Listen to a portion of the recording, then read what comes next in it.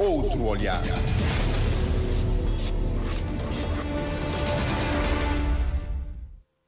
Votos renovados de bom dia. Eh, vamos ter duas eh, questões. Uh, daqui a pouco, uh, presidente da Associação dos Oficiais de Justiça de Cabo Verde fala da participação na primeira Conferência Internacional dos Oficiais de Justiça dos Países de Língua Portuguesa, que teve lugar ontem em Lisboa, mas começamos com a visão do presidente da Biosfera, organização ambientalista, sobre a participação de Cabo Verde na vigésima oitava Conferência das Nações Unidas sobre Mudanças Climáticas, que decorre de hoje a 12 de dezembro em Dubai.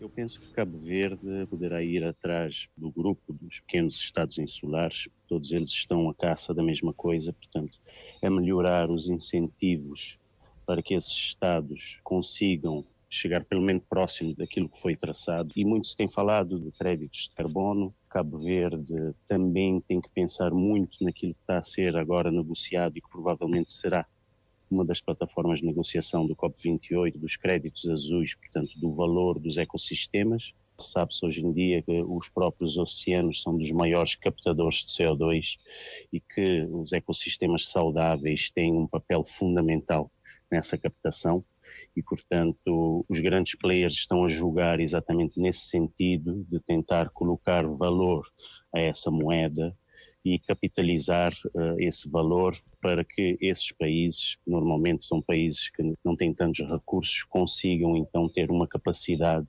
para encaminhar-se a si próprios para os limites e para os deadlines que estão a ser impostos a nível global. Mas indo por essa via, Cabo Verde não poderá estar eh, a contribuir para agravar o problema, eh, facilitando outros países a aumentarem a emissão de carbono? Uh, Vejamos, portanto, a ideia não é que quando se, se, vende créditos de carbono não é dar a outros países a chance de que eles possam poluir, mas sim de que Cabo Verde, como não atinge a sua cota, digamos assim, de emissões, uh, consegue transformar isso em, em, em, em moeda e, e essa moeda pode ser utilizada para que o próprio país possa construir as suas infraestruturas para alcançar outras fronteiras, não é? Portanto, Cabo Verde não nunca será um grande emissor, mas Cabo Verde tem vários problemas ambientais e problemas de infraestruturação que devem ser resolvidos e que também esses problemas apoiam o panorama global. Portanto, acho que é mais, a coisa é mais nesse sentido e não de dar aos poluidores a chance de terem uma maior margem de manobra. A sociedade civil, as organizações não governamentais viradas para o ambiente estão a ter nesse processo o papel que lhes cabe? É sim, devemos falar claro. Em relação ao ambiente, eu digo que Cabo Verde uh, se poderá juntar, uh, juntamente com os outros pequenos estados insulares, nessa mesa, mas Cabo Verde será como uma tartaruga voltada de costas numa praia, não é? Eu tenho visitado muitas nações insulares que vê-se claramente que o governo impõe e está debruçado em perseguir as metas e isso consegue-se ver, é palpável. Cabo Verde não passa nunca da fase do discurso bonito e realmente as ações do terreno nunca são colocadas em prática. E sabemos que temos em Cabo Verde, nas últimas décadas, uma grande força motriz por parte das organizações de sociedade civil, tanto na arrecadação de fundos, tanto na capacitação dos cabo-verdianos para trabalhar nesse sentido, mas que quando chega a parte do Estado cumprir o seu papel, esse trabalho para por aí. E, portanto, Cabo Verde, nesse momento e nessa mesa de negociações, é um país que estende a mão sem dar nada em troca, porque realmente eh, os nossos dirigentes não estão a demonstrar capacidade para realmente fazer cumprir normas, criar normas normas e implementá-las de forma a salvaguardar aquilo que são os nossos valores ecossistêmicos. Significa então que o governo deveria ser mais aberto a envolver as organizações da sociedade civil, nomeadamente o caso dos grupos que estão no, na Associação Taola Mais. Exatamente, exatamente. Então, são grupos que ao longo de duas décadas estão capacitados, já têm um, um suporte financeiro que pode realmente fazer com que Cabo Verde consiga atingir muitos objetivos, só que quando esses objetivos são conseguidos, faz parte do Estado dar continuidade. Podemos falar o caso, por exemplo, de Santa Luzia. A própria Biosfera e seus parceiros gastaram milhões a retirar os gatos de Santa Luzia, a reintroduzir espécies. Nesse momento, o panorama internacional virado para Santa Luzia é muito benéfico e todos aplaudem de pé de forma com que a restauração da ilha foi feita e que nesse momento está novamente a ganhar vida, mas está completamente ao abandono. Ou seja, tudo aquilo que se ganhou com muitos anos de esforço e com muito dinheiro gasto pode vir-se a perder num único fim de semana em que um pescador resolva chegar ali e largar dois gatos, por exemplo. Não existe nenhum tipo de biossegurança, não existe nenhum tipo de fiscalização que impeça que isso aconteça. Isso é desmotivante, não só para as organizações da sociedade civil de Cabo Verde, mas também para os próprios financiadores internacionais que veem milhões dos seus dinheiros investidos e um governo que brinca com os resultados. É chegada a altura, então, de um livro branco feito de outra forma feito de outra forma e implementado, eh, porque em Cabo Verde o que toca a nossa vertente fraca é a parte da implementação e muitos governantes dizem que pronto não existe verba para o ambiente, isso pode até ser verdade, mas existe forma de alocar essas verbas, não é? Posso dar um exemplo, a Biosfera há alguns anos tinha um parceiro internacional que tinha verbas para implementar em Santa Luzia corpos de fiscalização com infraestrutura para polícia e etc. E o projeto não avançou por falta de assinatura do Sr. Ministro do Ambiente.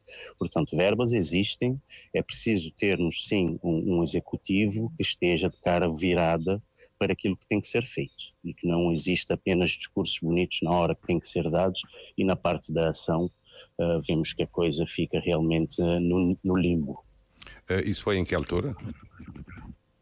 Isso foi há cinco anos atrás, portanto, tivemos esse financiamento e pronto, o financiamento foi redirecionado para outros lados porque não houve assinatura do ministro na altura. Uh, e mesmo, Júlio, devo dizer que uh, portanto, esse executivo uh, realmente vai sentar-se na mesa, se é que vai participar, vai sentar-se na mesa como um primo muito fraco, um primo distante porque os outros países insulares já estão realmente há décadas à frente, à nossa frente, da forma de implementação de regulamentações e, no, e na força da implementação das mesmas. Uh, devemos dizer que Cabo Verde, mesmo, mesmo a parte, no que toca a parte da presidência, o nosso Presidente da República, como patrono dos oceanos, Uh, poderia estar a ter um programa que fosse ele muito mais interventivo e que mexesse mais as águas, Portanto, vemos que pelo seu discurso e, e, por algumas ações que tem vindo a fazer, realmente a sua vontade está debruçada para seguir o bom caminho, mas pelo papel que tem nesse momento, ele poderia ter um programa que agitasse muito mais as águas e que fosse muito mais interventivo. As pessoas não ficam nos cargos para sempre e as pessoas são recordadas pelo aquilo que fazem e não pelas suas boas intenções.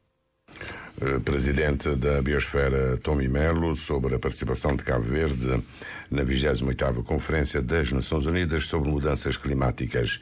A presidente da Associação dos um, eh, Oficiais de Justiça de Cabo Verde participou ontem na primeira Conferência Internacional dos Oficiais de Justiça dos Países de Língua Portuguesa, Maria da Cruz Moreira foi falado de oficial de justiça no sistema judiciário. Recomendações para valorização e reconhecimento da classe como parte integrante do Poder Judicial pela sua responsabilidade na administração de justiça.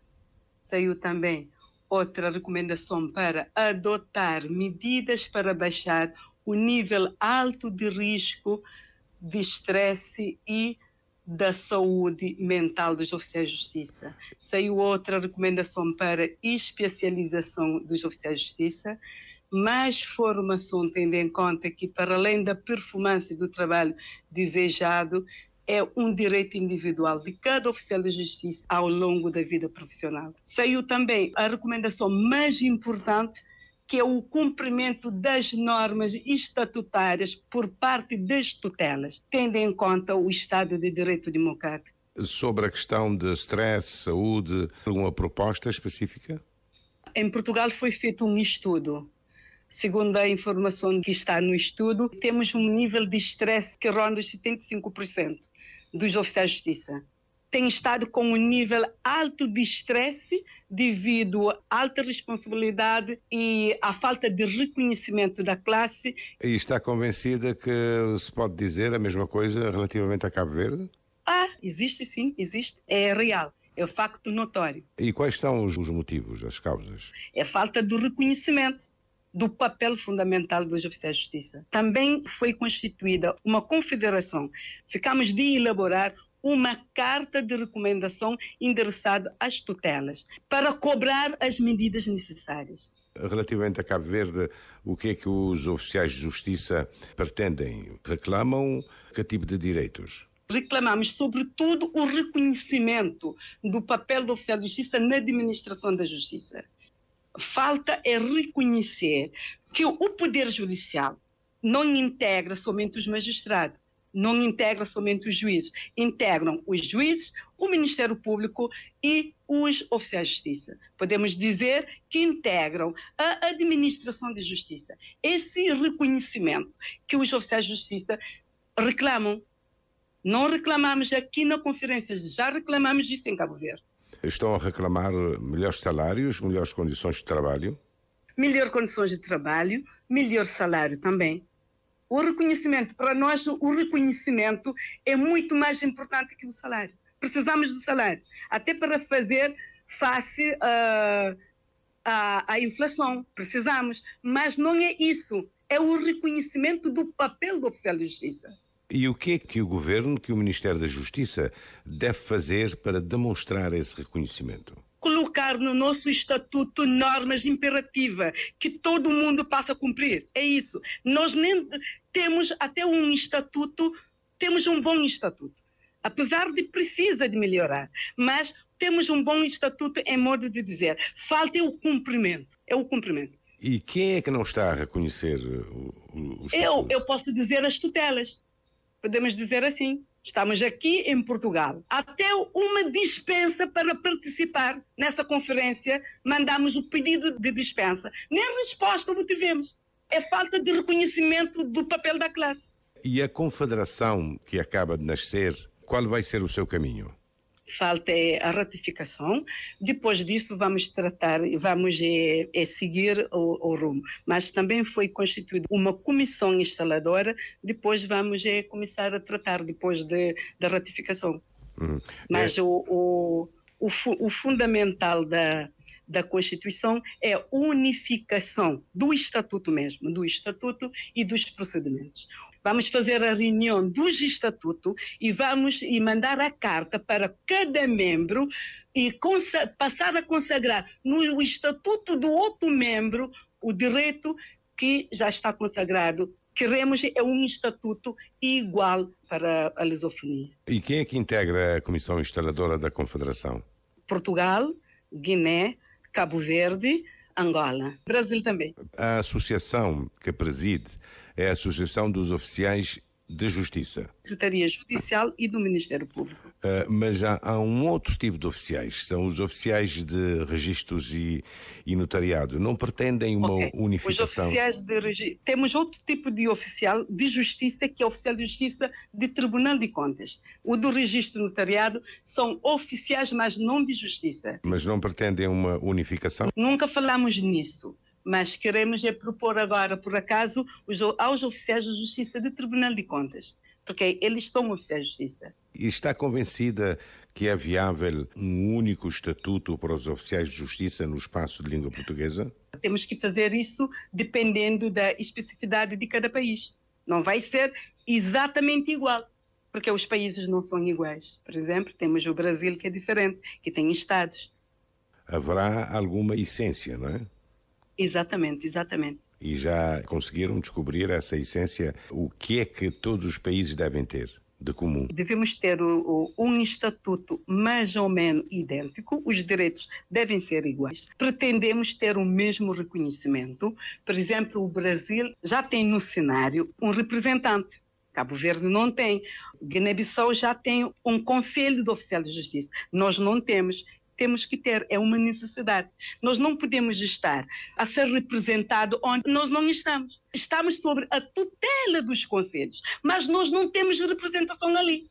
alguém vai decidir a vida dos oficiais de justiça para defender. Isso não.